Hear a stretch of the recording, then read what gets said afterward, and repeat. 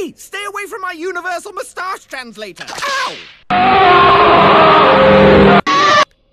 I, the individual Vanegood chatter, raise your right hand.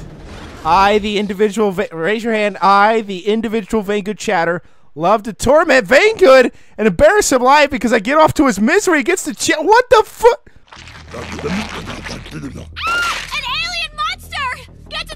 Um, actually, that's my. Embarrassment to Vanegood and everyone else in chat somehow. So, yeah, she's correct. Uh, let's get out of here!